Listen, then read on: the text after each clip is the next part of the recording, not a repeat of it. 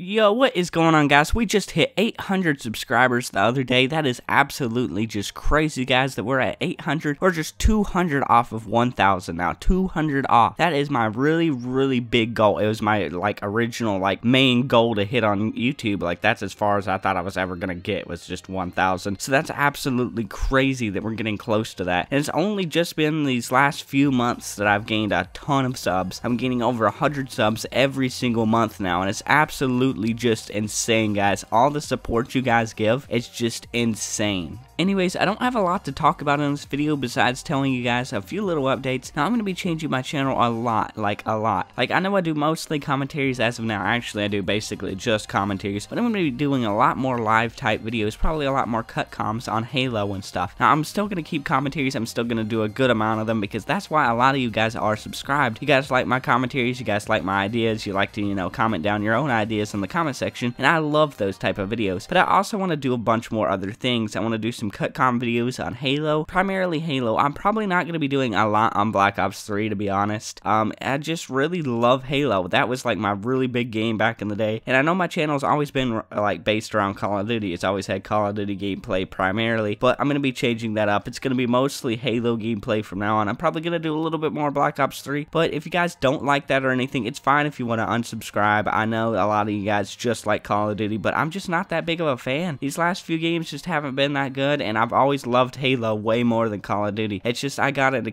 Call of Duty for a while because Halo just wasn't doing very good for a while. It was just like really bad. Halo 4 just didn't, it wasn't that good of a game, but Halo 5, it's come back and it's just strong as ever. It's such a good game and I just love it and I just want to play it for a very long time. And I'm just not excited for Black Ops 3. I'm not excited at all anymore, actually. Like, I don't really want to play it or anything. I just want to play Halo and, like, you know, a few other games that are going to be coming out, like Fallout 4 and, you know, some other stuff like that. But Fallout, Fallout 4 is, like, my main one and Halo 4, or Halo 5. Because those two games are just, uh, like, well, Fallout, I don't know. I haven't played it yet. But Halo is just such a good game. It just really is. I just love it. It's not like Call of Duty. Call of Duty is more of a multiplayer based game, while Halo is based around the campaign. It just has the most fun and just awesome campaign I've ever played, ever. It's just Halo. I've read all the books, I've watched all the movies, I've watched the TV shows, I've watched all the different stuff on Halo. I fucking love it. I love the whole storyline. It just has such a rich environment that's just so enthralling. So anyways, guys, I hope you guys do support my decision and, you know, stick around on my channel. If you don't, that's okay with me. That's your, you know, your own choice and everything like that. But I hope you guys do stick around and everything for all these new videos to come. And I hope you guys did enjoy this video. Leave a like, comment down anything you want to comment down below. Subscribe if you haven't already.